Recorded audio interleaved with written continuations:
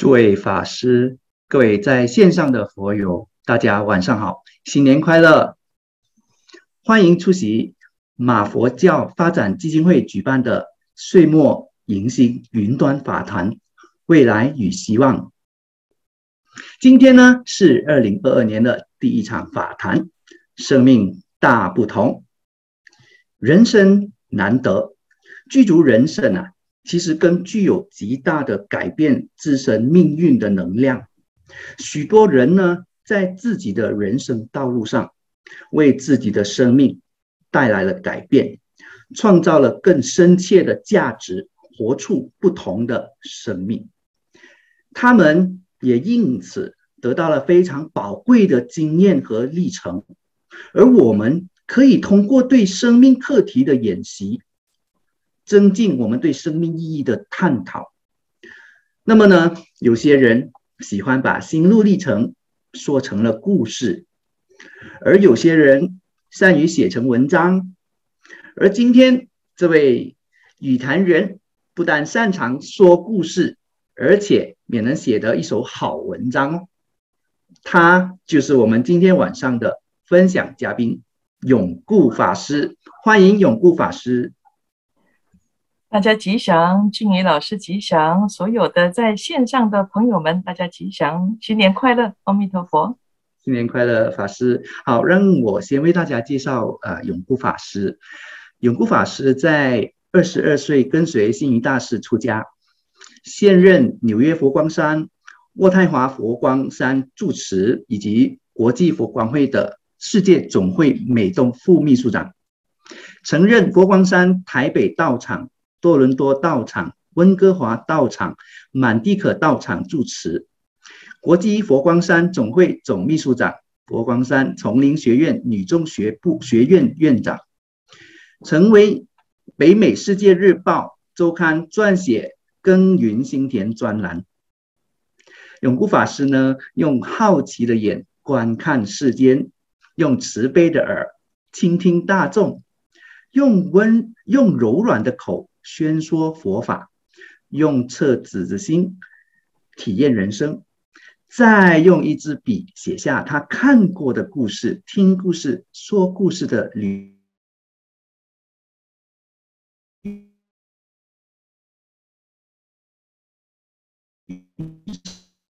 程。好，我们一起来称念啊！南无本师释迦牟尼佛。南无本师释迦牟尼佛，南无本师释迦牟尼佛。好，请放下。谢谢，谢谢师父的带领。好，师父啊，我们就开始。我很期待跟静怡老师聊天。是。好，有你问，随便问。我也是非常期待，因为今年就是。嗯，全新的一年嘛，我们就迈入了二二零二二年，所以一个全新的一年哦，所以探讨一个生命的一个大不同，我觉得是非常有意义的哦。对，所以 很感谢我们的呃基金会帮我定这个题目呃，这个我们只是之前在线上呃就这样好像聊天一样的呃，然后呃俊宇跟轻松好厉害哦，就从谈话里头。然后顺出了一些，呃啊，像一个一个主轴一样，那定了这个 题目，很棒。是的，那么师傅，呃，依我们呃，就是有就是了解师傅呢，那您的性格呢，其实是折善固执的。这一点呢，其实从您在一次的机缘下阅读了星云大师的《释迦牟尼佛传》，那么以后呢，就奠定了您要出家的念头。我们就看出了端倪。那么，您好像也没有真正经历多长的一个学佛历程，对吗？但是呢，从书本里面就知道了佛陀这位大圣人的这位啊，就是作者，就让您笃定要在佛光山出家，成为大师的弟子。那么，呃，师傅可否先请您谈谈这个整个的过程呢？过程哈。好，现在要倒带回去想哈，生命果然大不同。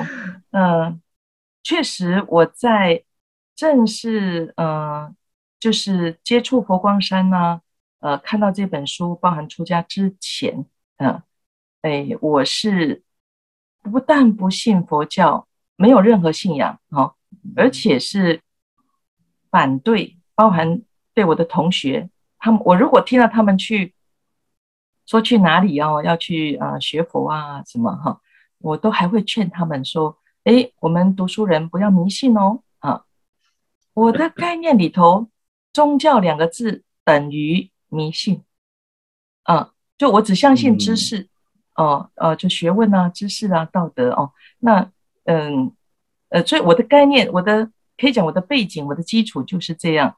但是不不可否认的是，有一个一个底蕴在那里。当然，我们讲过去生的呃根基啊带过来这一生，这是一个基础。另外就是我的母亲其实影响我，呃，她帮我培养这个根基，呃，其实是嗯，应该是从小啊。但是当时的佛教跟就叫佛道不分呐。哦，那个已经都是多少年前了？几十年前的台湾哦，我在台湾出生长大哦。嗯，那所以佛道不分的背景之下，我的母亲其实也也是佛道混淆的。嗯，哎，所以我当时看到的那种佛道混淆的一种宗教，我就觉得是呃很迷信的啊，就是逢庙便拜的那一种啊。有的时候呃，就是呃看到石头也要拜哦，那个。到庙里头去，他蹲到桌子底下去插香，虎爷在那里哦，啊，诸如此类哈，啊，那呃，但是我我基于对对母亲的一份呃孝心哈，所以他去哪里拜我都跟着去，因为我不只要我不上课不上学，我不想他拎了太重的贡品哦，他的油啊、呃果啊等等这些哈，嗯，我我看他只要我没有上学，我。不管课业怎么忙，我就要帮他提着去啊，所以也去了不少地方啊啊，那个要拜插那个天宫香啊，爬到高高的，钻到桌子底下，都是我帮他办的哈啊，就就这样。虽然心中想了这是迷信，但是有一种敬天畏神的基本观念，那个那个底蕴基础在的啊。那所以到你刚刚提到说看《释迦牟尼佛传》，我是太惊讶了，因为。当当你以为啊，呃，比如说，呃，你看到这个是一张白纸啊，你一直以为它是白色的，白色的，直到呃，你翻开内页啊，全部都是黑的。比如这样讲啊，你会就有一个截然不同的发现哈。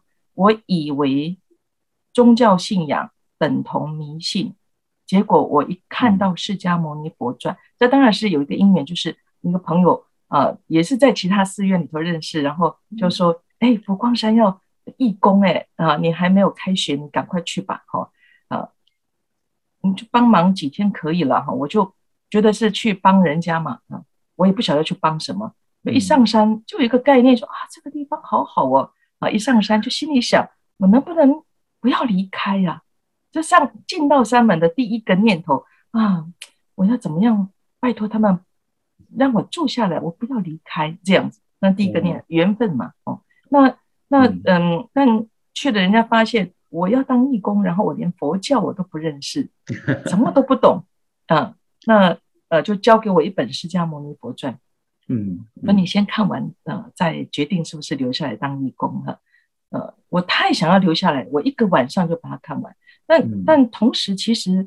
呃，就是引着我这条路，一个晚上看完这一本《释迦牟尼佛传》哦，呃，就一边看进去，就是真的不停的流泪哈，因为我真是对佛教的误会太大了啊！我一直以为这是只有老人家迷信啊啊那种很呃呃落伍啊这种啊，我以为是这样了啊，结果那就是翻转的，所以我觉得这个题目很好，生命大不同啊。原来我的认知大不同啊，因为过去完全错误的成见，那整个 转黑为白，整个翻过来，所以太惊讶了哦。这是第一个，就是原来佛教这么有智慧，然后我一直误会它，嗯，他的那种智慧，呃，不是我们一般的社会的呃那种呃认识知识或者学问所可以明白的，更不要讲理解透彻，免谈了啊。啊，就就是对，这是第一个，就是哦，我误会太大了。那第二个呢，就是再看进去，继续看，对不起哦，就发没现关系，我这好像是应该，我好熟悉哦，我好像是过这种生活的人呢，啊，就有那种哦好像换回前世的记忆，就是一个延续哈。那那您问这个过程哈，我觉得是有经过这一些。第一个是突然石破天惊啊，嗯真的是翻转啊。嗯那第二个就是好熟悉啊，这这路翻过去就是翻回到前生的记忆一样的，好熟悉啊，这样嗯。那嗯那第三就是到看到最后就是不停的一直流泪，一直忏悔，又很感谢哈，就是我这样，我虽然没有诽谤佛教，但也等于批评，甚至阻止别人信佛哈。像我这样的人，佛陀没有舍弃我嗯啊，给我这这一次机会啊，认识佛教。所以我看这本书，它这个过程里头，呃，确实是有有这些嗯经过啊。所以似曾相识的路，然后再深深的那种忏悔，好像在清洗内心的那些呃污垢一样的啊、嗯嗯，所以就呃，但但是哈、其实还是有一个小过程，就是从看到释迦牟尼佛传，然后到确定出家，这个时间是非常快的哦。也可以讲我哦。上山不到一个月哈、这个念头起，但念头起呢，真正的主角没有出现，主角就是我们的师父星云大师哦。哦，嗯，嗯，那在那之前有这个念头，但觉得哎呀不行，我应该要多陪妈妈哦。啊，那嗯就是因为我父亲才去世，那时候在去世两年吧，哈，我就觉得应该要多陪妈妈啊，这样。那嗯，但但是呃，有一次就是就有这个机会见到大师了啊，一嗯见到师父呢，什么念头都没有了，就是啊，大师嗯，请求出家，然后这样，就从哦从看书，然后到请求出家啊，所以嗯嗯很短的过程嘛，就是短短的不到一个月。对，不到一个月哈。哦所以您提到说择善固执哈，我记得 那时候师傅问我，就是师傅就说：“哎，你都不认识佛教啊？你先去读佛学院哦，认识佛教，认识佛光山，你再来谈这样，再来提出啊。”但这个过程中，嗯呃，我就就是呃，师傅讲说，呃，大师讲说，嗯、你还年轻哦，那一年，呃，这个虚岁是二十三岁啊，实岁哦二十二岁哦，呃，大师说，呃，你还年轻，好、呃，嗯你去读佛学院再再来提这样。哎，我当时突然突然冒出来，我也不晓得，从来不知道这个内容啊，其实觉得很奇怪。呃，我当时提说，嗯，我好像听说有一个人叫做龙女啊，听说她八岁就成道了，证悟嗯成佛了。我已经二十三岁，我我太晚了。如果让我早一点认识真正的嗯佛教，我应该要再更早。啊，这样哦，那师傅就呃前推后推，想要推翻我的一些呃，就也是一个一个嗯嗯考验吧啊。那呃最后啊、师傅讲了一句话说：“看来你是不容易下决下决定，下了决哦定也不轻易改变的人。好，那哦你等我通知啊，这样哈。那 其实就是说我固执嘛，就是 你刚刚提的择善固执，固执哈。对对对，认定一个就是了，这样啊，嗯，那我一听到说哦，等通知，我就突然又冒一句话，我说大师，我不知道您说的等是要等多久，会不会？我说如您说的，我太年轻了哦，呃，有的时候一个念头起嗯。落，嗯。就在这个转念间哦，嗯。会不会到我下一念再升起要要发起要出家的念头，会不会嗯。再回首已是百年身？我不知道这一等要等多久。嗯。这样哦但是 呃，师傅那时候可能已经就觉得我我实在太烦了哈，就 不会的，呃，你呃，我很快会给你答复啊。你现在去填佛学院的报名表啊，哦你整理行李哦。我在山上当义工嘛，他说你现在准备去佛学院报道啊，我很快给你答复啊。然后嗯我就说啊，嗯大师，我对佛教什么都不懂，我不知道佛学院考试我能不能考过呢？嗯，然后师傅就说：“你已经考试通过了。”我就这样入学的，直接面试，直接面试，嗯，所以就啊，师傅就那天晚上，嗯，那天晚上落法出家。哦，就当天晚上就落法出家。对对，我，真的是啊，整个姻缘真的是看起来哇，真的是非常的选，就是很很殊胜哈，就是。就短短的时间哈，那么就啊，从师傅去了就是佛学院嘛，对不对？就开始了，就是在里面就呃一直有有就是学，就是开始从零开始这样子去学佛了，对不对？所以，我真的讲哦，我没有当过信徒哦，我没有当过在家居士啦，啊，受呃三规五戒这在家戒这些我没有。嗯，我就直接学佛的开始的第一天就是出家嘛，啊，然后在一个月后就登山谈大戒，刚好有戒会，我就去受出家戒，啊，嗯嗯，所以我我对这个在家学佛，其实对我来讲那一段是空白的，哦，嗯，很有趣哈，很有趣的。那么其实，在呃，就是在刚才的。谈就是我们的对谈当中呢，我我们也知道，就是呃星云大师，就是师傅您想要出家的其中一个非常笃定的其中一个呃主角，刚才就是讲主角是吗？对不对？是啊，那么呃，其实，在星云大师的著作中，就是《往事白语》。有一篇文章取名为“一半一半”，那么 师傅您就是当机中哦。那在 在呃里面呢，大师嗯和您有一段的一个开悟性的对话，那么可否请师傅分享这一段对话的因缘呢？然后大师呢，呃，给予弟子的教育呢是非常活泼的，我们大家都知道。那么也可不可以让呃，请师傅也分享大师对您的影响呢？真的，这一生没有遇见大师，嗯，也会生命大不同。嗯，师傅可以讲，嗯，他师傅是完全翻转我的人生，呃，开启了我的人生啊，整个的，我觉得，呃，这一生。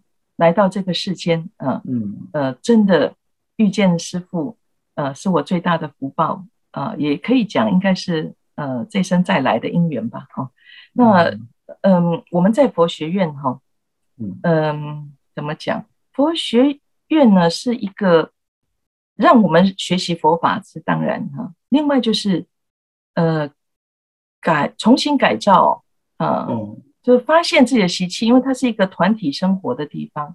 你一个人去自修，哈，呃，你看不到自己的问题，哎，你只会一直增长自己的。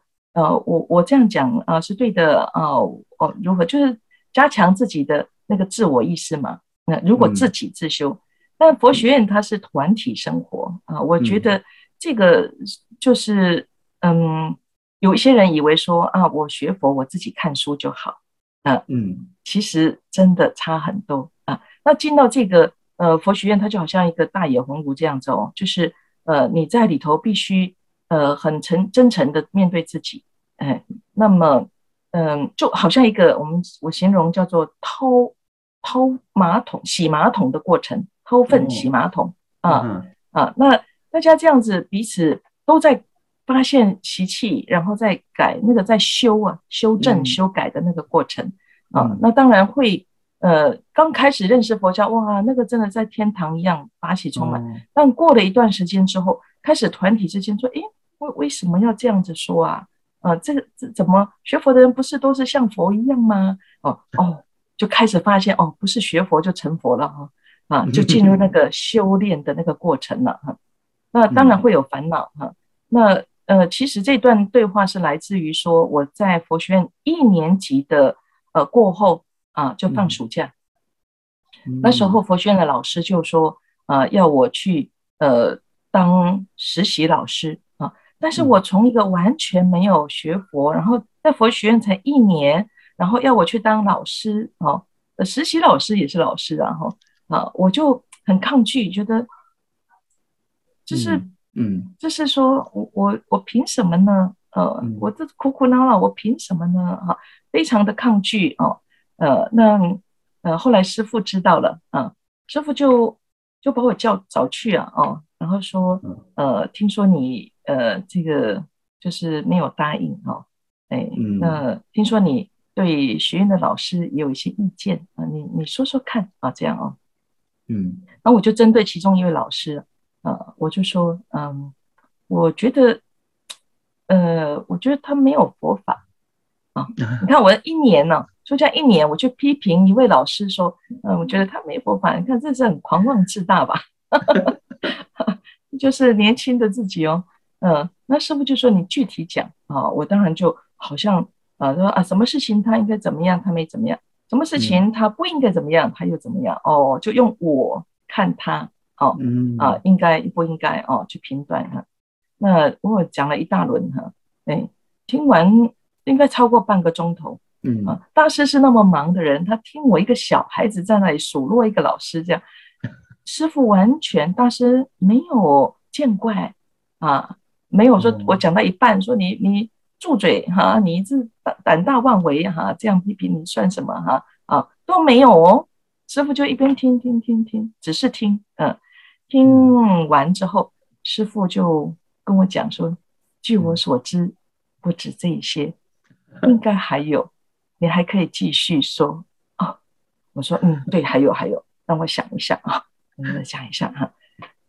哎，再讲就两三件又停下来啊。师傅说没有关系，你以后想到了再跟我讲啊。哦，好好好啊。然后师傅就讲，就是您提的这个一半一半的这个公案哦，啊，师傅说嗯永固啊，啊，你是一个，就你的个性，就分析我的个性，我说你是一个呃要求完美啊，然后充满正义感，呃是非分明、正邪不两立的人啊。哦，我听到多开心啊！嗯，师傅好了解我啊，啊，就很高兴哦，啊。我以为不，当时呢，我觉得这是一种赞美吧，这是一种呃，这种人格上一种道德的认定嘛，哈，觉得是一种嗯被肯定的赞美哈。对，如果现在想起来就觉得很不好意思，嗯，那呃，师傅当时就说，但是你要知道哦，嗯你虽然要求完美，但是其实你拥有是一个残缺不全的世间哦，啊，我就很惊讶，师傅就说，你看呐、啊，这个世间呐、啊，白天一半，夜晚一半，啊，这个男人一半，女人一半，啊，嗯。光明一半，黑暗一半，美好的一半，丑陋的一半，善良一半，邪恶一半，哦，呃，就师傅一口气讲了二十几个，包含说，呃，你喜欢的一半，你不喜欢一半，你认为是如法的一半，不如法的一半，啊嗯，就你喜欢不喜欢，就这样一直分，一直分，啊，一半一半一半一半，我这样一路听下来，就就是，嗯嗯嗯，那最后的结论呢，师傅说，嗯呃，因为你呢，只能接受那个光明的、美好的、如法的啊，这个合你意、你喜欢的啊，就这个一半，所以一你只有拥有一半的时间，一半是残缺不全的哦。这个哦都对，但是为什么结论是这样啊？我就整个人就愣住了，嗯就停在那里。嗯，因为嗯你接不上话了啊。然后师傅就说，说要一直到你把另外的黑暗的、丑陋的、错误的这些不如法的都呃包容进来了啊，你才可以算拥有一个完美的世间哦。嗯，那这个道理我我觉得是一个对，就好像我当时的感觉，好大的气球，然后要塞到这个这个小小的头头颅里头来，这样哦，呃，硬塞硬塞，我就好像在消化它，这样推论下来是正确的吗？但这个结论为什么我塞的好辛苦啊？这样啊，师傅就说你不要急哦，呃，你可以不用去当老师，你继续当回你的学生，你好好安心的读书，没有问题的。因为师傅当时大师是我们的佛学院院长，院长 说了算嘛，啊，所以就说啊，你不要担心，你继续当你的学生，好好学习哦。那你毕业之后呢？你呃毕业之后，因为我们都会调派嘛，嗯啊，那你经过这人事调派，你会不断的不断的去经历不同的人事物，一直到有一天啊，你现在不懂，那那个时候有一天你会懂啊。嗯那其实以你的根基呀、你只要学我一点，其实你就可以成就的。你知道哪一点吗？啊，我那个整个人已经，我觉得是那个本来充满了我，我我我认为，我觉得我啊，我嗯哼。自以为有理的那个我哈，对，嗯。整个被师傅的一番话已经抽空了嘛，整个嗯。空掉了哈，嗯。呃，真的是一个大清洗了啊，嗯，那把那个成见呐、我见呐、都都呃清清洗掉了哈，清除掉啊嗯，所以师傅说，你知道你哪一点吗？学我哪一点哈？我 整个人很恍惚的，我就说，呃，我不知道哪一点，我觉得师傅的每一点我都要学啊。师傅说不必，以你只要学我一点。然后师傅就在空中哦，大师在空中写了一个字。我想，呃，在 Zoom 里头大家应该看得出来吧？就大小的大嘛，哦，对对对，大啊，看得出来，我我说什么要大啊？师傅嗯就整个人就好像被抽空了嘛，啊，嗯呃，师傅就说心量要大，嗯把你不能接受、你觉得不对、不如法、不正确、不以为然，所有这一些扩大心量，把它嗯包容进来，你就可以成就了。哦，哎，这个，呃，我我觉得就是这一番话哈，这个应嗯该是在我正式进入佛门，当然我是直接就出家，然后呃正式学习佛法，啊嗯嗯但但是因为是带着那种习气、嗯成见、我见，哦，很我执很强啊，自我 意识很强哈。嗯那这一番话，所以经过佛学院一年了，然后嗯师傅进行了这一堂课，一半一半的时间啊，嗯。就让我再从头归零，从归零然后继续开始学习，所以是哦，非常重要关键的一堂课。谢谢你问出这个问题。真的是啊、呃就是非常非常的就是有意思啦，因为哦，嗯。其实师傅啊、呃就是大师对您的影响也不少的。然后之后呢，就接下去就慢慢的就是呃离开了佛佛学院，然后已经是出家过后呢，也让师傅您有很多的一个机缘啊，就踏上这个国际的舞台了。那那个嗯又是另外一个阶段了哈、然后嗯师傅，您曾经和觉诚法师啊，代表佛光山在联合国妇女地位委员会分享教育心得。那这对于整个佛教算是比较开创性的嘛？那请问，呃，师傅可不可以分享，就是在曾曾经在佛光山，就是担纲这个国际的角色？那这个国际的角色呢，给师傅您又怎样的一个学习机会呢？我觉得在佛光山后，嗯呃，师傅给我们的学习机会是平等的。在师傅心中看我们弟子们，虽然哦，比如说他有呃呃性别男女众的呃不同啊，他嗯根基啊，大家的呃性向、性格、呃专长种种不同哦。啊，嗯我们的师傅星云大师真的是很特别的一位大菩萨啊，他可以记嗯得每一个弟子，包含我们过去的这些，这是很很不可思议。我这样讲，并不是说哦，大家说啊，你你特别，所以师傅记得你啊，不是真的。师傅可以叫出每一个弟子的名字，这个连我都叫不出我师兄弟的名字，这这么多嘛？我们一千多人呢、一两千人哦，啊，师傅，嗯，就是我只能讲，真是大菩萨再来哈。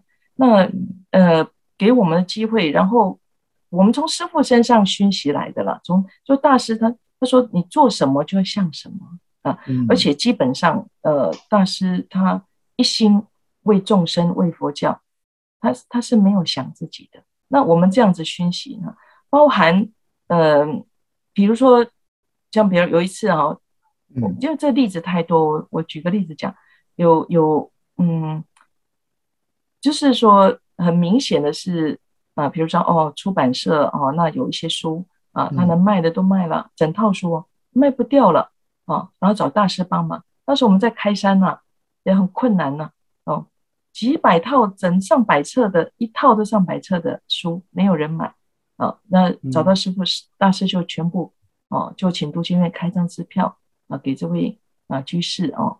哎，那当时杜监院的院长哦，当时就就说师傅，嗯，他是利用您的好心啊，那都卖不掉了，就。那嗯，推到我们山上，我们也没钱，然后我们怎么怎么去卖啊？他能能卖的佛教寺院都卖了嘛？哦，那是利用你的好心的师傅哈。师傅说我知道，哦，我们听到很惊讶哦，啊，师傅不是说都不知道好坏这样哦，嗯，我知道，嗯，但是，啊，他是佛教的居士，他是佛教的人才，我们如果不帮他，哦，他就离开佛教，呃。这是为了佛教的人才啊，我们呃帮助他呃应该的这样哈就是说呃那这个人并不是在佛光山哦，所以师就大师的他的心他他不是说啊佛光山好就好了啊，他现在要佛教好啊，嗯，那所以我们熏习这一些哦，嗯是没有那种呃那种那种门户之见这样子哦，那么到。包包含您刚刚提到国际舞台哈，呃，其实我们应该就如同师父呃大师说的人间佛教的定义啊，凡是佛说的、人要的、亲近的、善美的，只要是能够帮助这个呃人间更加的啊呃就是很和安乐啊这样啊亲近安乐。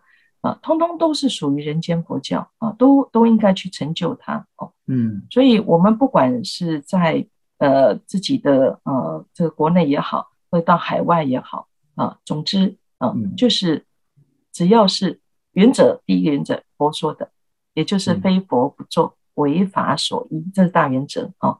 然后呃人要的啊，那这个人间性哦，呃人所需要的，你说。到海外去啊，在国际上，他不离开人群呢，人间呢，还是人要的嘛啊，是，所以是给我们很大的机会。那在国际上，其实，嗯，佛教的声音还是很微弱的，很微弱啊。对，所以我们在联合国的参与，那么当然一来是呃，在啊，就是国际佛光会它本身也是呃联合国 NGO 就。呃，非政府组织的啊，这个议员嘛，哦，那所以，比如说我跟联合国我们的顾问在呃互动的时候，他就就是很希望我们佛教啊多一点出来啊，他就讲说，法师你都知道，他他他是美国人嘛，他就讲，他说美国人呐，心呐，病呐，已经生病了，嗯，他说他看过所有这一些什么呃各宗教的主张，他说，哎，就是。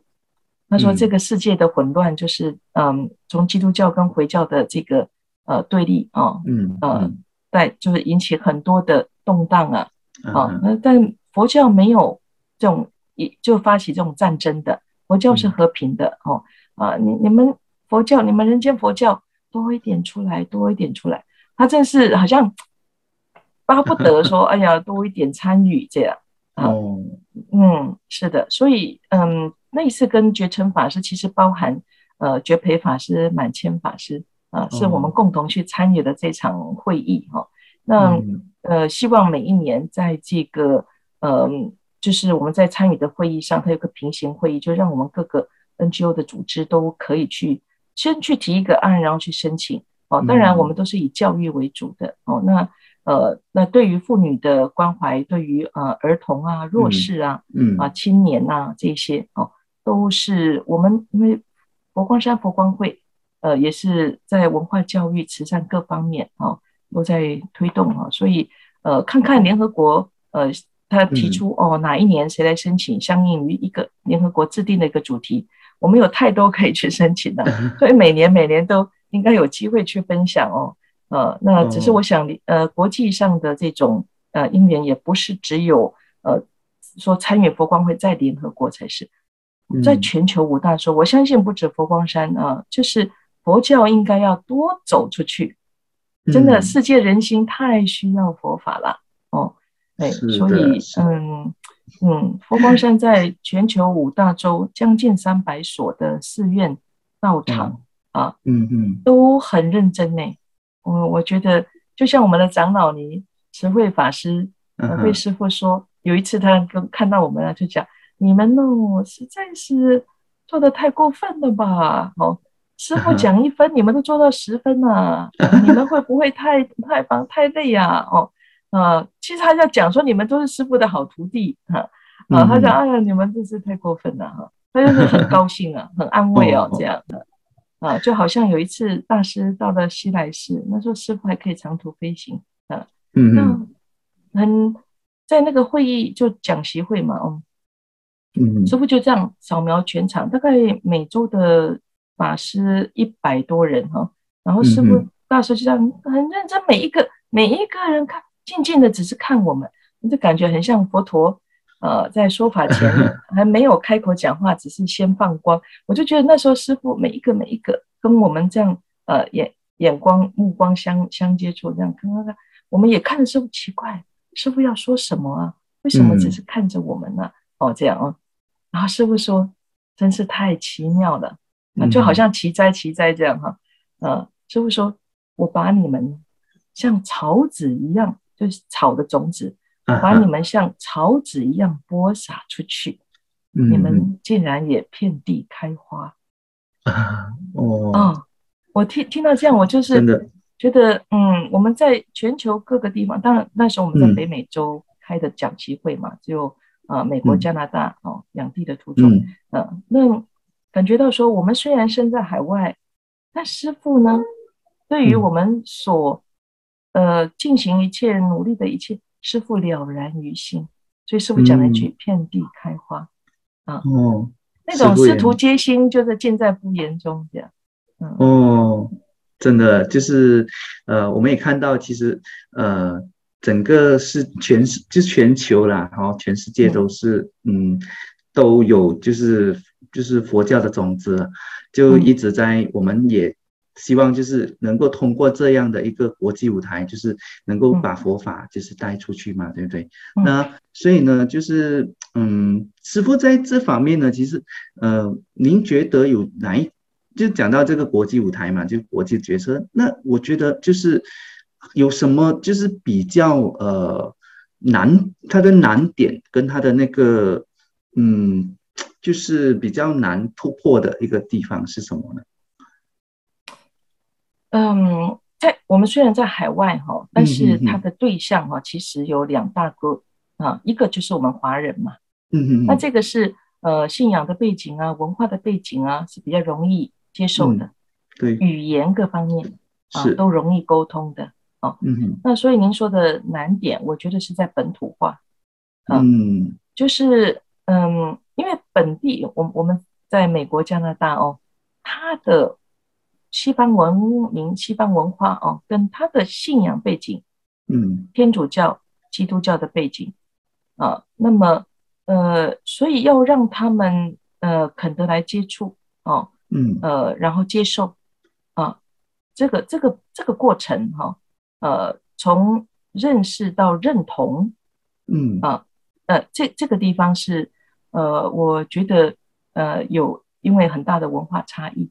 啊，包含比如说他的信仰背景啊，如果哈我们跟他讲因果，嗯，那他们最能接受的就是他们认为哦很科学哦，因果观念啊，呃呃种什么因得什么果啊，这样前因后果啊，这个他们很能接受哦，包含呃受持五戒啊，呃就就像我们在传授三规五戒哈。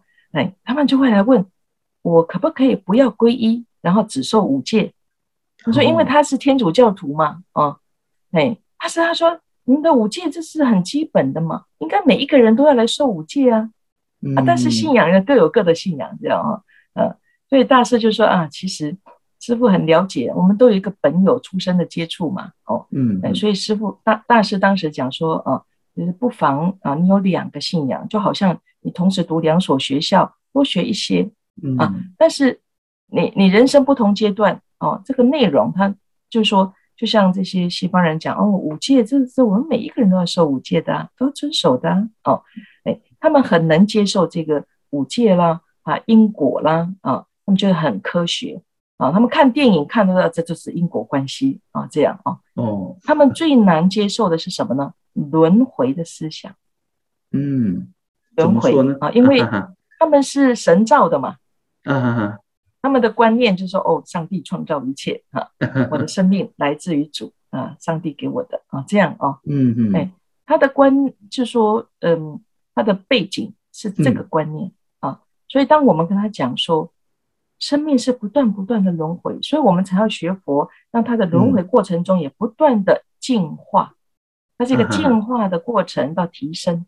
嗯嗯啊，然后回到我们自信清净的本来面目嘛，哦，啊，然后我们也可以成为觉悟的人啊。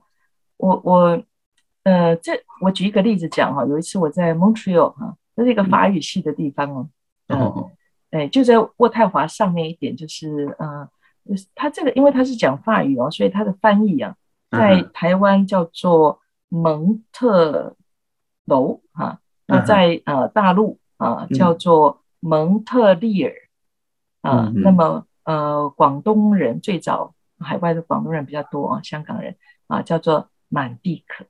满地。那因为最早接触香港人，所以他定名为满地可 Montreal 啊，这个地方学校来参访，那一次两台 bus 将近一百人，大概九十几个人哈，学生呐。嗯嗯嗯，国中生吧啊。然后呢？哦，当然他们是宗教课程要来认识啦，哦，呃，那他们都来自天主教学校，我我就当然我说哦，那我要跟各位就是同学们介绍啊，佛教的代表佛法僧三宝，好哦，这简单讲一下，讲完之后呢，啊，我说我们哈佛教徒的一个目标啊，学佛就是通过啊学佛行佛到成佛啊，这样啊，我就问他们，呃。同学们，你们有没有人想要成佛啊？当然没有人举手嘛，他们都是阿门的啊，我信仰我的主，这样哈。哎，我是说，嗯，说我想也是这样子啊。然后我再问他们啊，说，哎，同学们，你们在学校读书啊，读书学习的呃目的是什么呀？你们有没有个目标啊？这样哈啊，有的人就说就是要上大学呀，啊，哦，上大学呢之后呢？嗯，就可以有好的工作啊啊！啊，工作是为了什么呀？啊，这生活就可以过啊，可以好啊啊！这样，我说啊，那这样就到最后了啊。我说你们再往内心里头，你学习到什么，再去想一想。他们说哦，knowledge 知识啊，学知识啊，这样呃，我说知识再往上，再往上提升提升啊，那个是什么呀？啊，这个时候有一个学生讲 wisdom。嗯，智慧，嗯嗯，哇，我这如获至宝了。啊！我说，哎呦，我们越来越靠近哦，我们也是哦，为什么？我们的学习哦？我说，你们知道一个人当他的智慧到达最高最高那个状态叫什么？啊，竟然也有一个学生哦，回答 enlightenment，哦，开悟，觉悟啊，哦哦。哦，觉悟哦，哈 啊。然后我就说，哎，我说再大胆的问你们一个问题，嗯，想要开悟的人，enlightenment 的人举手，嗯，呃，只有两个没有举手，其他九十几个都举手。哦，他们都知道 enlightenment 哎，他们要到达最高最高最高啊，这样子哦，嗯 嗯，我说大家都很有志志向哦。我说：“你们知道，我刚刚问你们的问题跟现在问你们是同一个问题。嗯，佛是什么？觉悟的人。而大家都说你们希望可以成为觉悟的人。嗯，那不是一样吗？这样哦。嗯，我们学习就学习成为一个觉悟的人。所以其中有一个学生，嗯，他说：你的意思是说，我们每一个人都可以成佛吗？”佛不是唯一的吗？我说不是，啊，佛是当一个人的状态到达最高最圆满究竟的智慧啊，enlightenment 觉悟的那个状态，他就可以被称为佛陀，就是佛。嗯，哦，他很高兴，我也要成佛啊，这样子哦。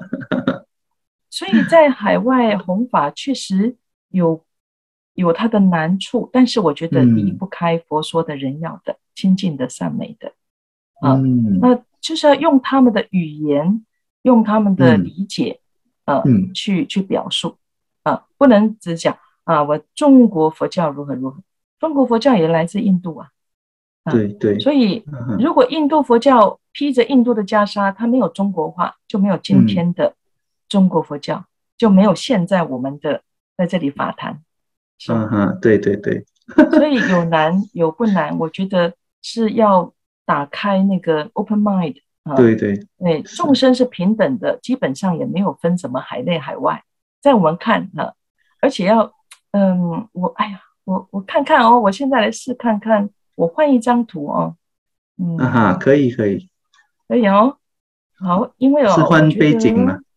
嗯，哎，好啊，看到了，看到了。哦哦，哎呀，我我太大了，我要缩小一点点啊。各位看，这是一个一个一个 playground，小朋友玩的地方，对吧？啊，嗯，这是啊，呃，我我现在在渥太华嘛，哈。那么，嗯，它是因为渥太华在建市，当然纽约也在建市了，在曼哈顿在建市哦。但是我现在今天我人在呃渥太华。呃，这是渥太华，它有一个建市筹备处，把它称为，就把它作为一个临时的佛堂哦。啊，那么在它的停车场的前面啊，再过去一点啊，有一个这个地方哈。啊，这里呀，只要经过的车子，车里头有小朋友的啊，都要进去进去，我要来，我要来这里啊。啊，那那这些当然就。加拿大人嘛，啊，我们的邻居啊，啊，就会来问我们小朋友可以在这里玩吗？啊欢迎欢迎啊，呃，哎呀，这个所以说啊，哎哎，我移动一下啊，就是说，你像观音菩萨啊，因以何身得度者，观音菩萨即现何身而为说法，工具是很重要的。你你有没有想到用什么让他们有一个因缘走进来？我我在。就算我到马路上去跟人家讲讲话，大家都认为我是很怪异的人吧？啊，哎，但是我不用讲话，我就播出一个地方，做一个小朋友啊，因为我们儿童班就重视儿童教育啊，这些等等哦，啊，接引青年等等啊，所以这个地方呃是比讲堂、比大殿佛堂还重要的一个地方。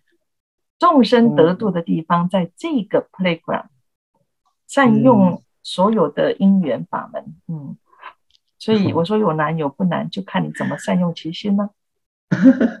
好的，好的，就就啊，就是从整个过程看来哦，其实许多西方人他们的眼里呀，对于我们的佛教，其实嗯，都是属于一种比较异教嘛，对不对？因为他们的文化 就是呃。他他们会觉得佛教是非常的一个神秘跟浪漫，对吗？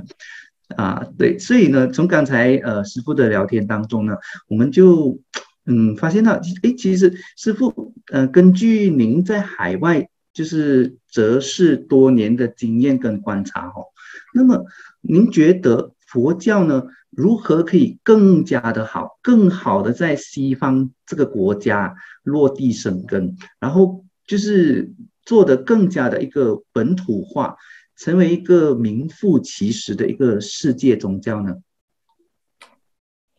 呃，本土化哈，嗯，比如说我就以这个渥太华建市的呃怎么讲，它的设计哦，那最早我们向总本山，因为都是由总本山指导我们的嘛，哦，那最早我们提出的啊，就想说，呃，这信徒哦，这。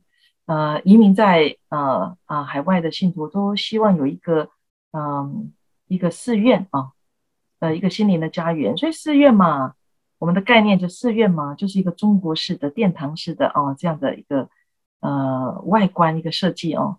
所以像总本山提出的时候，也是一个传统的中国式唐式建筑，类似这样子的哦。哎，那但是我觉得我们有师傅在指导，我们的长老在指导。长老看着我们在做事哦。那么，呃，所以当时因为以北美洲的首座啊长老就是呃慈荣法师啊，荣师傅就跟我讲啊，说你嗯一个纯中国式的啊建筑，虽然我们华人会很喜欢很习惯啊，看到就想来啊，但是在你要你要注意啊，就是社区啊邻居啊啊这些西方人，他们对于走进来会有。一个距离感，所以你是不是考虑啊？这个在建筑的外观上啊，让本地人也比较亲切一点的设计啊？我们长老真的是很有智慧，很很很很，真的很慈悲哦，就想到啊啊哇，对哦，对我们的众啊，我们的对象啊，呃，不能只考虑我们华人啊，还有当地人，包含哈。就算是我们华人的子女，他毕竟在当地出生长大哦，你要让他喜欢来，就就是因为呃，我们我们的大师，我们的长老哦，就是给我们这一些呃，要要有这种国际观啊，你要能够将心比心，有那种同理心啊，让人家不要觉得怪异。您刚刚提到说，嗯，这是一个很神秘的地方，嗯，这是一个很。讲就好听叫特别，不好听那当然就是奇怪啊，跟我们不一样哦。那什么神秘宗教哦，他他会有一种因为无无就不认识嘛，就会一种畏惧感哦。这这些人就有个距离啊，所以就这个设计外观图整个风格大转变啊，那包含呃，因为这个观念一转啊，就想对。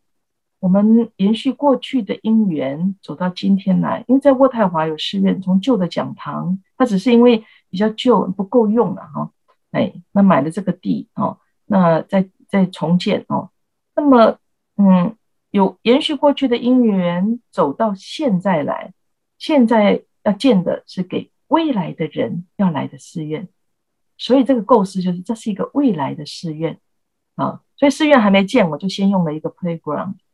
让小朋友来玩哦，啊，那邻居都很欢喜，甚至于，嗯，比如说，呃，我们去啊邮局办事啊，去哪里呀？啊，呃，人家一看到我们就说，哦，你你 from temple 哈，啊，哎，为什么你知道我们一个 temple 要建呐？啊，哦，我们社区大家大家谈起来都好好期待哦，你们什么时候会建好啊？好，哎，就是这个，嗯。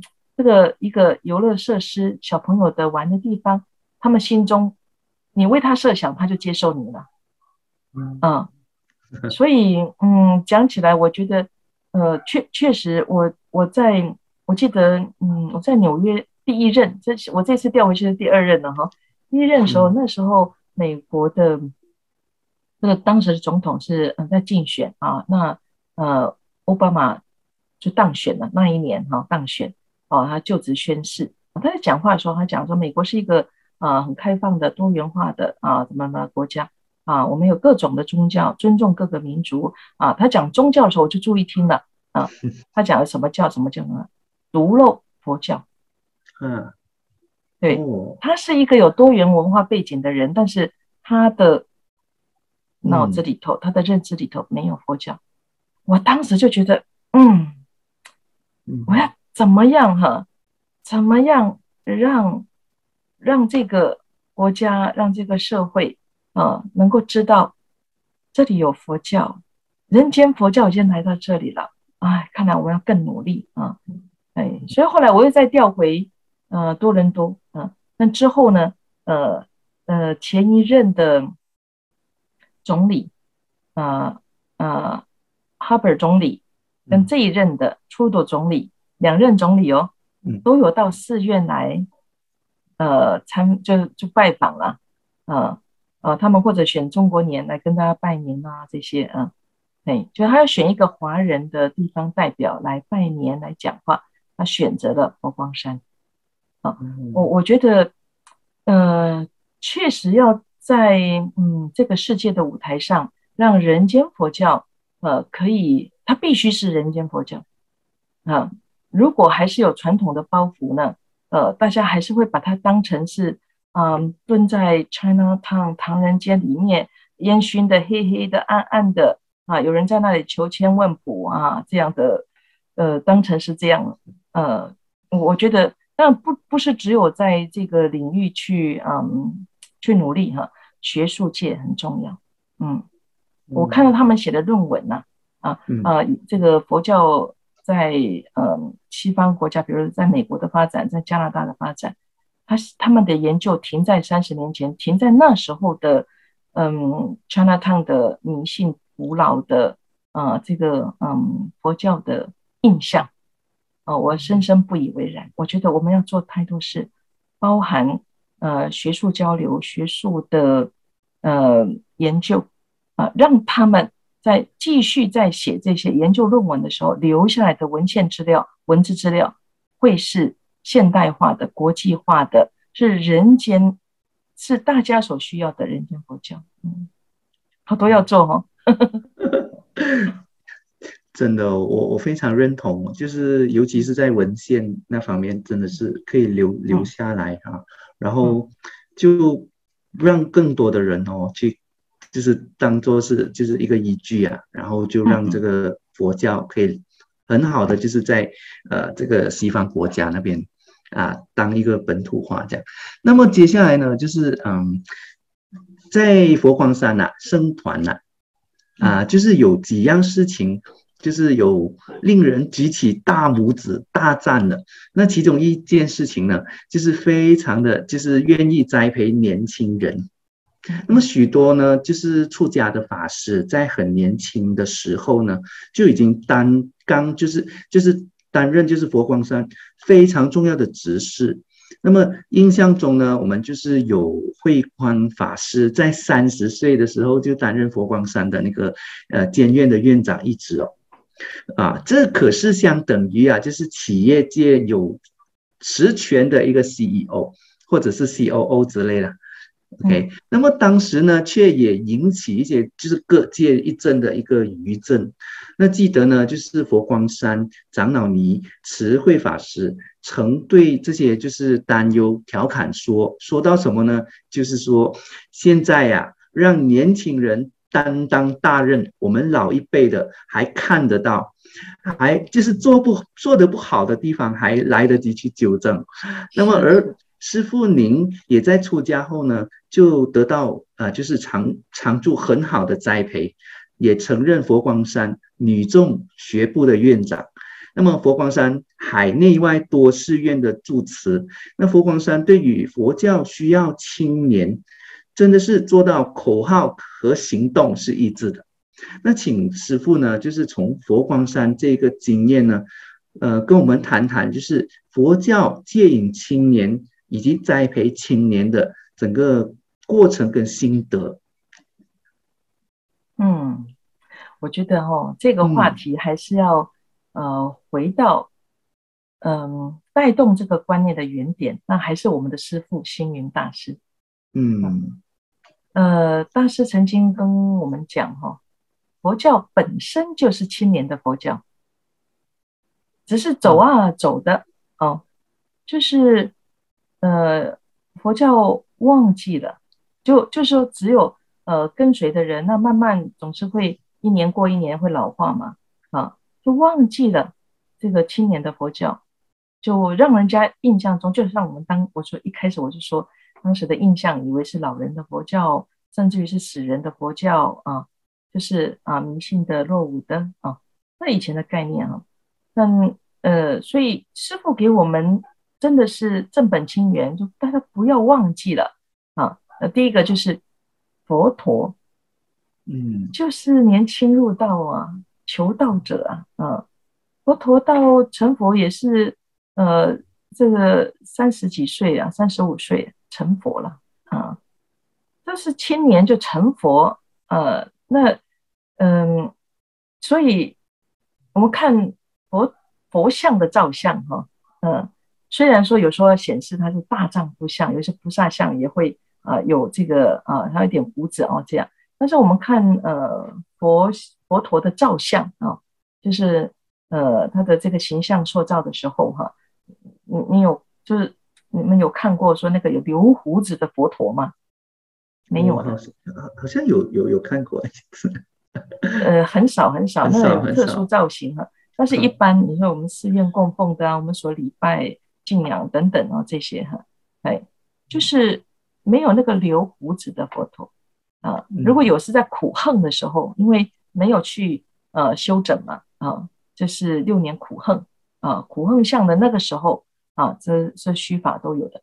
呃，但呃正正是成佛之后的布达佛陀啊，呃没有胡子的，哎，是千年的佛陀啊。他他一生说法啊，这个四十余年谈经三百余会，都是没有胡子的形象的。哎，但玄奘大师也好，任何这些，包含我们的师父星云大师啊，大师从十二岁出家啊，然后到他二十三岁到台湾啊，其实，在大陆说他编杂志啊，到处奔走啊，就要讲说，就要推动寺院的啊这个。呃，发挥它的功能啊，弘法的功能啊。那么到那这个因缘聚会啊，就到台湾啊，然后从早期在宜兰接引的都是当时的青年，现在当然都是我们的长老啊啊，一路都是这样子做啊。所以它是一个，就当一个点，一个种子下去就开始跑，一个延续的过程。呃，我们随着呃这个岁月在在一直一直在啊变迁着哈啊，我们从。从青年入道，当然年岁会增长，呃，青年入道年岁增长，就是然后你就只有年岁增长的这一群，那就会老化，啊，所以是重视这个种子不断不断一直进来啊，所以当然就就要有很多，就要呃要架设很多的平台，让年轻人上来，啊，那当然就有年轻人的活动，年轻人的组织啊，青年团。啊，青年书院啊，呃，青年寺院生活体验营啊，青年短期出家哦，青年什么什么哦，很多啊，这些青年的活动啊，那尤其海内外的青年啊，当然呃，这个呃各各种的活动哦，呃，青年的啊，这个禅学营啊等等，因为进来的多，尤其是佛学院，佛学院它是有年年龄限制啊。这个系别有男众佛学院，有女众佛学院，啊，所以男女众都可以的啊。但他的年龄呢规定啊，过去啊我们读书的时候最高限制就是三十二岁以前，那现在呢哦就是哦因为大家这个学习呀哦，然后还有什么学业贷款啊完成这些啦，所以他他放宽了一点点，三十五岁以前，所以还都是青年读佛学院啊，在佛光山。呃，如果有未来在佛教的这些参与哈，呃，就是他是从青年就开始培养的啊。那特别是有心要出家入道的人，那在佛光山出家一定要经过佛学院啊。哎，那当然其他的事业的参与那倒不一定啊，但总是他重视第一个架设青年的平台啊，给予发挥的机会，甚至于参与佛教的事业，就像我们的呃基金会啊。这个呃也是一样哦，给年轻人有这样的舞台啊、机会啊，哦，这样去发挥年轻人的那种呃菩萨心、青年力哦，哎，那呃只是说系统啊，有的是偏重是活动的啊，很活泼啊，唱歌啊、跳舞啊，有些啊年轻人呢啊活力四射哦，那有一些啊就修道啊啊学习佛法啊、研究啊啊入道等等，这个路无限的宽广，都是可以给青年参与。但是我想提，就是说，我们不能等到呃呃到达青年的啊十八岁以上才呃这个二三十岁才接引。其实呢，现特别是我们在海外啊，我们为什么我刚刚用的那个一个 playground 让小朋友来？嗯，哎，真的你要接引青年，要从抓娃娃开始。这句话我是学觉尘法师说的。那这个抓娃娃，我第一次听到他讲，那不是娃娃那个机器吗？就是说，你要让他接触嘛，哈，特别在西方国家啊，他都讲英语、讲法语啊。那从小啊，参加啊这个善同学园啦、中文学校啦、三好儿童班呐这些啊，他小小小小就来寺院啊，他看到师傅，他就要合掌吉祥，阿弥陀佛。他他有这些培养培养啊，这样子哎，啊，那欢喜看到我们呢，欢喜来到寺院呢，这样啊。即便像在疫情期间哦，不能来哦。呃，我们都在线上嘛，哈，我就举一个例子，呃，我们这个三好儿童班有一个四岁的 Olivia，啊，她是她是小混血儿啦，哦，哎，他爸爸开车哦，经过我们这个要见识的地方哦，啊，他爸爸跟他讲，这就是你奶奶去帮忙插花的 Temple，四岁的 Olivia，哦，It's It's my Temple School，啊，我的寺院学校。我要进去啊！我要去哦。他说没有开放哦。爸爸说不能，不能进去的哦。啊，他说呃，我我在门口就可以。他没有来过 temple，没有来过道场哦。他只是听爸爸讲哦，就是那里。他进来，他就他他爸爸就说：“你知道怎么？你知道布达？你知道 temple 做什么的？”嗯，我知道。嗯，然后他就在门口很正式的做了一个问讯的动作。很标准的问讯的动作，他爸爸把他拍下来，非常惊讶，因为他爸爸也没有看过这个动作。嗯，他说这是什么？然后他就一手指天，一手指地，说那就是不打的地方，那就是他在儿童班学习的嘛。啊，那现在儿童班上课呢，他妈妈是加拿大人哈，爸爸是华人哈，爸爸妈妈跟这个 Olivia 两岁的弟弟，全家一起在。网络上在听课，在学习，跟他的啊爷爷奶奶啊，就是呃，我想说接引青年，当然，嗯，因为佛光山真是以文教起家的哦，重视佛教，如果没有青年，呃，就没有未来。那我再把这句话往前推，佛教如果没有儿童，就没有青年，就没有未来。呃，我曾经有一次在我们山上的讲习会，我大声疾呼。我当时讲我说，如果哪一个道场没有青年团，那个寺院就可以关门了，活不久的啊！就哇，这是吓到很多人。我现在就更夸张了，那个寺院如果没有儿童班，就可以关门了啊，也是没有将来的啊，就是这样。重视儿童教育，现在真的青少年的问题啊。整个儿童也跟着大人来还容易，青年团青年有他的哦，刚刚讲他的舞台平台了哈，要重视这个青少年，这个桥梁要把它搭过去啊，就有童军团等等啊，甚至有青呃这个青少年的呃青少年分团啊，这这个这个年龄层其实他自我形成，他也不要爸爸妈妈管他，你不要再带我去，我不会跟你走啊，所以你要趁他在这个之前，他已经。It's my temple，我我是想去的，这样哦，他要一直加强到这样，哦，那他要到这里就延续到青年，就很很顺利了。嗯，其实我们的呃俊宇是呃老师哈，对，是学校的副校长。我相信讲教育你是最有心有戚戚焉的哦。嗯，对 对对，也是因为教育从小开始。啊。也，我非常认同师傅这样说。那回到来就是说，其实，嗯，从整个我们说的青年嘛，对不对？那说到青年，那前几天呢，我就我是觉得说，嗯，我在就是听师傅开示的一个视频啊，我就听到师傅说了一句，就是人三十岁以后的生命是要用来觉悟的。那其实这句话呢，我我我我真的是也是戳到我心里去了。啊，因为其实也是三十岁这个过后的一个呃阶段嘛，对不对？嗯，那刚才就是从嗯儿童开始谈起，然后到青少年，那么人三十岁以后的生命是用来觉悟的，那么可以跟大家就是跟我们深入的探讨这句话嘛？为什么那时候嗯就是。会这句话影响师傅那么的深呢？我看到这句话在这个印度的奥义书上看到的时候，哈，呃，那一年我刚好三十岁啊，所以我在当时我在嗯普门市担任当家啊啊，那在普门市的办公室内办公室啊，看到这一段话哦，我就突然。对你刚刚提到触动啊，很深刻的触就 touch touching 哈，然后就突然间哈，我是放声哭出来的，就就这样子直接的直接反应哈呃哦，办公室还有其他同事，我的师兄们哦，哎呀，你怎么了？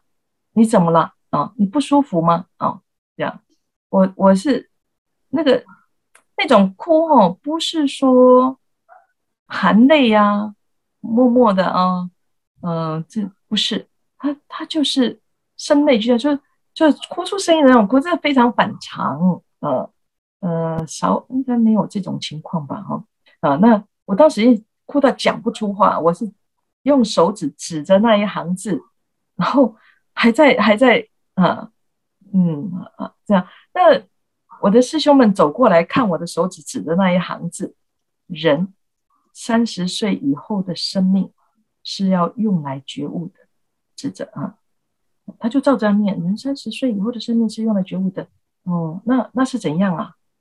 那是怎么了？这样哦，啊，我就哭得更伤心了，就是觉得，嗯，我我当时的感就突然之间哦，好像。应该怎么形容那种感觉？就是说，我就就在那一句话进看到的时候呢，就跟过去的我告别了。啊，真的是生离死别哦。啊，就是以前的我浑浑沌沌的，嗯，就是可以不清不楚那样吗？我也很认真哈，那很认真，但是那种那种那种。觉悟的目标并没有出现，理论上有，但是，呃，发自身心的那种是，呃，那时候三十岁还没有哈，但这一句话就跟我宣告，从今以后，呃，你的方向确定了，人三十岁以后的生命用来觉悟，所以觉悟就是一个方向了，方向目标确立了，所以从今以后我不再有愚痴无明的，呃。呃，资格了，我就没有那种闹情绪、发脾气、哈啊耍性子的那个资格，通通都没有了。我跟过去那个无名的情绪的啊，那那个暗昏昧无名的那个我告别了啊，就突然那个内心世界像崩裂开来哈，就呃，一个是过去了，然后现在开始啊，原来。啊，从今以后我就是要清清楚楚、清清白白的做人啊，呃，就就是当时的那种那种感受是这样哈。这个我我不知道，嗯，大家听到这句话，也许您是呃过了三十岁、四十五、十六、十七、七十、八十都有可能哈。但是呃，其实当您听到的时候，呃，您可以把这个设定为呃你的目标。呃，你的力量是不一样的啊。那不管我们的身份，出家、在家、各行各业啊，从今以后，你都可以呃，就是正面分明的、清清楚楚的活在当下，朝着觉悟的方向走啊。善观因缘法哦，看这个世间呃，当当你用因缘法则在看的时候哈，它就是呃，已经走在一个觉悟的路上了，嗯。这样我这样回答 OK 吗？这个可以可以。距离看到这句话，距离现在我三十岁看到，嗯，您提起这个问题又隔了三十年，哎呀，中间有很多要反省的，嗯。嗯。嗯，那其其实呃，到现在其实也已经是到了就是九点四十五分，我们就是要到那个问答时间，我再看一下哈。是，就看哪里有问题的哈。这里好，呃，这里有一题，就是说，嗯，请问法师，未来可能会有女众或非台湾裔的法师为佛光山方丈吗？就是，嗯，大师师傅跟我们讲过，佛光山的。我想这个问题应该指的是总本山啊，因为现在来讲，我们在各个寺院呢，呃，有男众的道场就是男众的住持，女众的道场就是女众的住持嘛，啊，所以说女众作为一个寺院的呃住持啊，这这些啊，那都现在都是有的啊，但是他提到方丈，我想呃应该是指总本山的总住持，也就是现在是新宝和尚担任。啊总住持啊，呃，从刚刚您提到是慧宽法师弟子三十岁总当家哦，哎，那个新培和尚上一任新培和尚，这一任新宝和尚都是四十岁当总住持哦，嗯，真的我们在做师父长老，嗯，确实都看着指导着啊，有什么还可以问哦。嗯，当他问了这女众能不能担任方丈，师父没有讲过男女重性别的问题，因为性别在佛光山是不存在的问题。呃，师傅只讲第一个啊，就是呃，就是要有供养心。嗯，成为佛光山的住持的第一个条件要有供养心，就是心量要很大。呃，那，他要能够呃。怎么讲？指导所有一切，同理大众，一切无碍啊！嗯，那第一个要供养心啊，就是我能够为你们做什么啊？我们可以来做什么？我们将为众生做什么？这样子哦，啊，那个那个心包太虚的心量哦，对，就讲到说要心量要呃，就要有供养心啊，然后自然有发心，就会有龙天推出，嗯，就是这样子哦，包含不要讲说。是不是这个国籍的问题？哈，包含其实大师都提到过，不一定是佛光山的弟子担任总住持哦。嗯，只要你有那个缘分。刚刚师傅讲的还是那句“龙天推出”，啊，就是因为我们跟各个道场很友好嘛。那当然，呃，这个大前提是必须你是呃奉行佛光山的中风人间佛教，嗯。所以带领的方向就跟这个中锋啊发展的方向要符合人间佛教。啊，你不能说哎呀，我这好不容易当了主持，我开始带大家来啊这个啊修命啊、闭关呐、自己自修啊、治疗啊，不行的，他一定是这个从佛陀开始就以人为本啊，那佛陀一生奔走啊，这样子的啊，到处的行脚弘化啊。都是在讲人间佛教，不离生活嘛，哦，所以这个呃，人间佛教的中锋，再加上这种发菩提心啊，有供养心，自然水到渠成，人间推出。呃，你是哪一国人？你是哪个道场的人？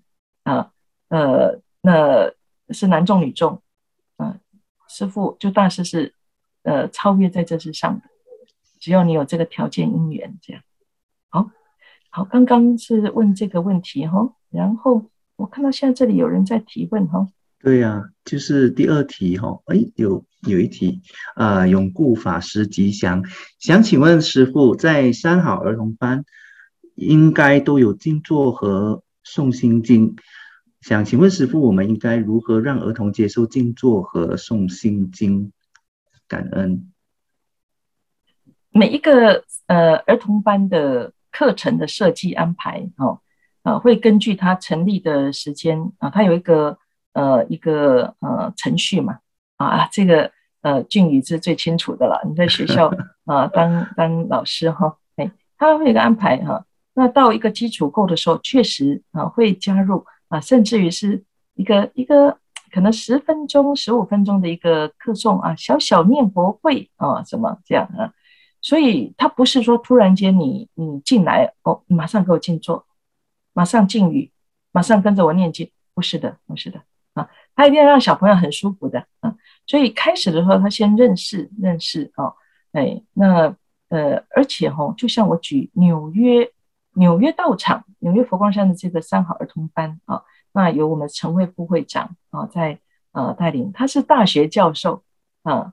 但是他就说儿童教育太重要了啊，所以他呃，他同时是嗯，我们国际佛光会青年发展呃青年呃发展委员会的主任委员，带动青年的哦活动哦。但是他在道场投入的呢是儿童教育啊，他是真的从从小嗯，因为他的两个小孩都是混血儿嘛啊。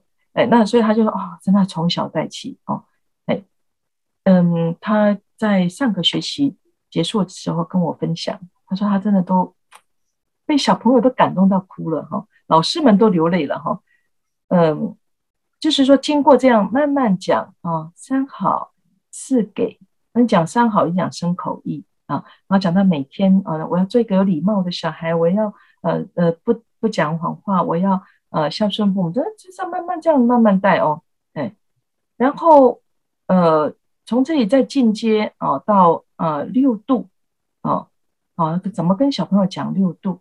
甚至于到这学期，他其实讲呃缘起哦，讲讲十二因缘，讲缘起啊啊，跟小朋友讲缘起法呢，这是佛陀开悟的法呢啊。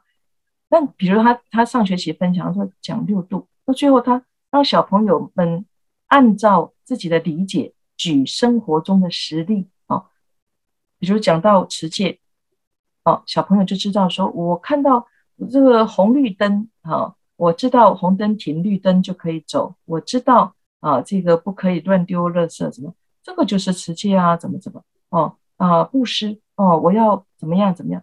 小朋友举生活中的例子，融会贯通，融汇于生活中。老师们很惊讶，说：“哇，你们都可以做到这样的理解。”小朋友觉得很奇怪，老师，这个不是本来的吗？我们本来。我们的生活中都是这样的，本来的啊，让老师出，就说让老师感动到流泪，就是因为他们讲出，这不是本来的吗？这表示他把佛法完全融入在他的呃生活中、生命中，很自然，这就是已经是他的内化的、内化的，嗯，所以他会呃帮忙做家事啊，他会整理干干净净啊，他会。啊，就就像呃，我刚刚提这三好儿童班小小朋友在学校，老师们说啊，你们这个暑假啊怎么样怎么样？哦哦，小朋友分享哦，暑假我就都是行三好啊，老师没听过三好哈，都是洋人嘛，哦啊，三好就是什么什么，这老师觉得这怎么会？你这么小，你这么有智慧呀呀？哦，就跟家长赞叹这小朋友，而且带动全班都很有礼貌哦，啊这样。像这些哦，就是说，当他这些基础都够的时候啊，然后你再帮他再说，现在我们要呃学习专注哦，专注对我们做功课学习很棒的哦啊，我们只要一分钟，嗯，小朋友，呃，要不要挑战看看啊？哎，一分钟很简单哦，小朋友他好可爱的样子哦，真的吗？那下一次我们要三分钟哦。看看谁可以做到完全这样子专心的哦哦这样哦，其实都是可以的啊。那一般我们会带到五分钟啊。那比如说呃呃这个啊说诵心经哦，它当是一个文化课也可以。呃，你讲它是佛教文化还是中华文化啊？这个学习中文字然后怎么样都可以的。而且因为小朋友他心中已经接受接受佛教的元素嗯。他甚至于会有点向往，说：“哇，我现在可以像师傅那样可以诵心经哦，我现在越来越棒了哈。”他会很欣然的期待的啊，这样，甚至于小小念佛会，小朋友哪一位拿引磬，哪一位打木鱼，哦，那个就是简直是好像 super star 这样哈，那小朋友心中的偶像了哦，啊，哇，我下我要看看他怎么打木鱼，下次我也要打木鱼这样哦。就是熏习来的嘛，你给他这个环境，一个呃很 friendly、很友善的，让他很欢喜的，呃，甚至于小朋友会有一种模仿，就是他有一个典范，就我们讲就是偶像的心理啊，他觉得你很棒，我也要像这样子啊，这样就很自然。好，那么呃，这里还有一题。就是呃，请问永固法师在大师开示一半一半之后呢，除除了就是包容嘛，是如何把事情做得圆满呢？哇，这个当然不是一次哦。你说，哎呀，我就懂这个道理了，从此我就 什么都很圆满，什么都包容。其实不是，他还是在呃，随着一年一年这个这个时间在过。中间的重点时间是抽象的嘛？哎，那就是你的生活，生活之中不离呃人事物啊。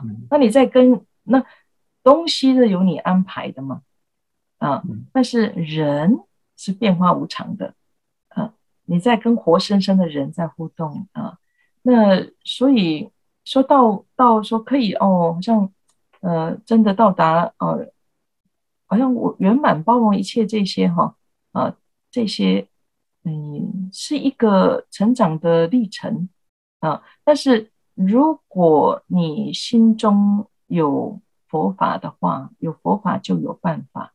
但是，一般哦，这句话讲起来很容易哦，有佛法就有办法。一般我们难就难在我们把生活跟佛法分开了。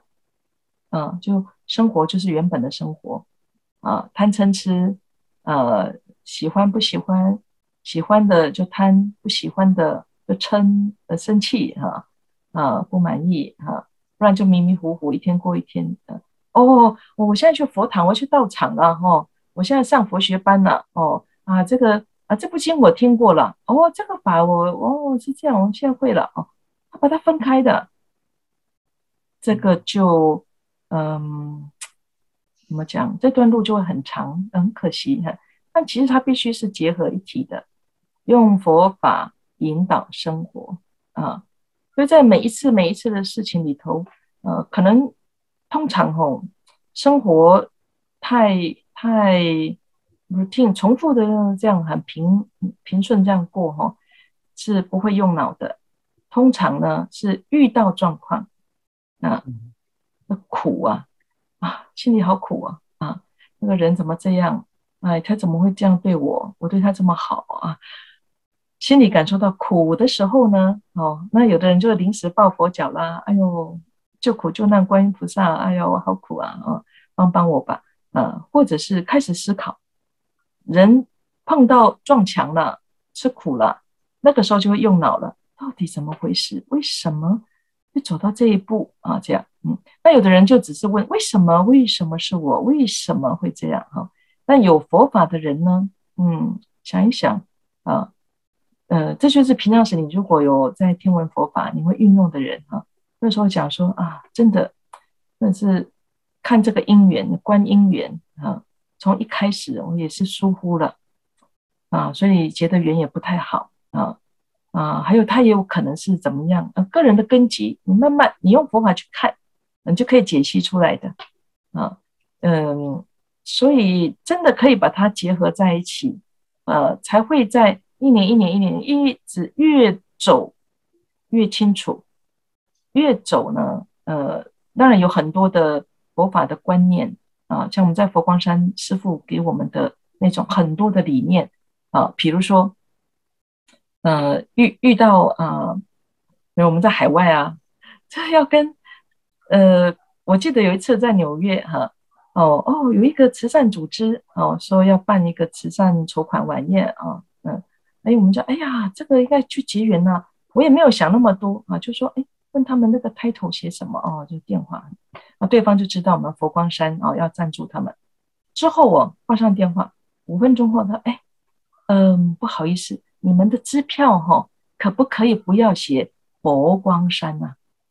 就用你们那个王会长的名字就好了啊。诶，我们联络的法师说，为什么不能写佛光山？是佛光山要捐款呢？啊，他说哦，嗯，因为我们不能有佛啊。为什么啊？啊就是这样的哈，这样。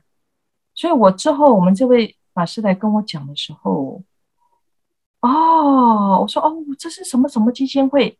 是基督教的组织啊。但是我们一直一心想帮助人嘛，哦，与人为善呢，哦，没有想这些划分的，没有的，哦啊。然后我们这位法师说，怎么会这样？行善也这么困难吗？这样哈。我就跟他讲，我说：“嗯，师傅说的，嗯，要争气，不要生气。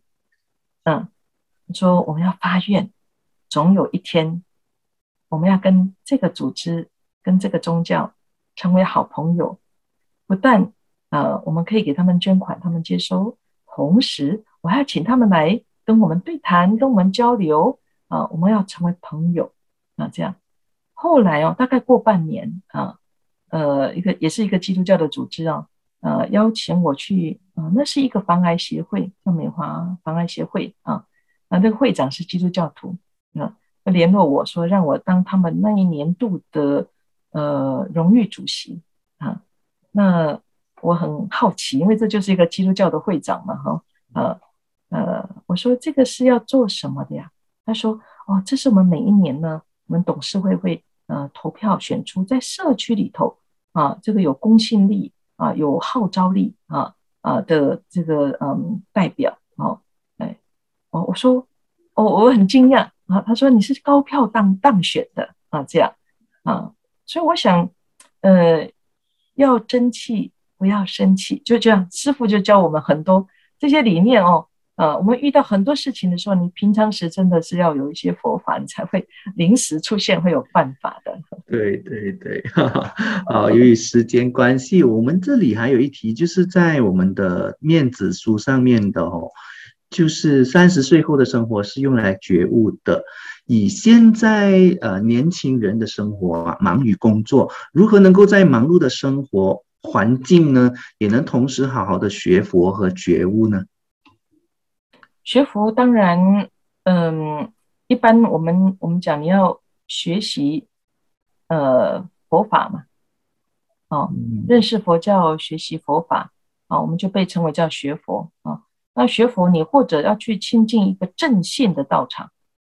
我这里讲不一不是只有指佛光山啊，你像我们在马来西亚，呃，这么多很认真在弘法办道啊，度众啊。呃，呃这个的的寺院道场哦，那要正信，你要走选对道场哦，啊，呃，那种迷信的啦，神鬼一大堆的那种不是哦，啊，有些人找错了，真的很可惜啊。